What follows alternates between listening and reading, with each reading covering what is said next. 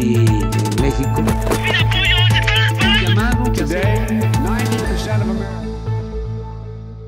En mi crónica de esta semana abordo el tema de la cascada legislativa y las intenciones ocultas.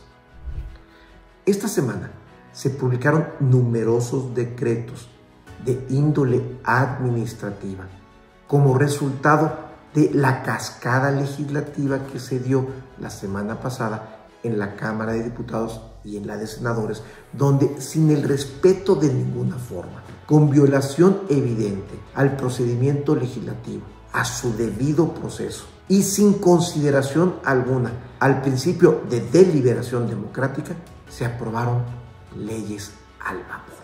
Estas leyes en realidad tienen poco impacto en la vida cotidiana de los ciudadanos.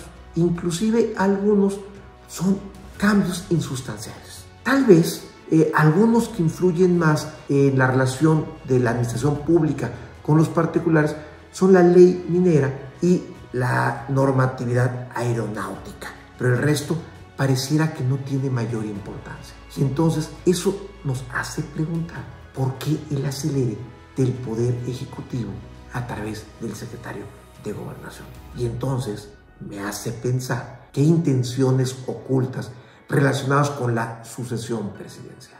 ¿Acaso lo que se buscaba era romper, debilitar el liderazgo de Monreal en la Cámara de Senadores? ¿O que el secretario de Gobernación, Adán Augusto, diera un zarpazo, una muestra de fuerza y control político y lealtad al presidente en este proceso sucesorio?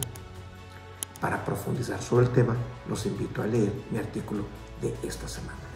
Soy Carlos Matute.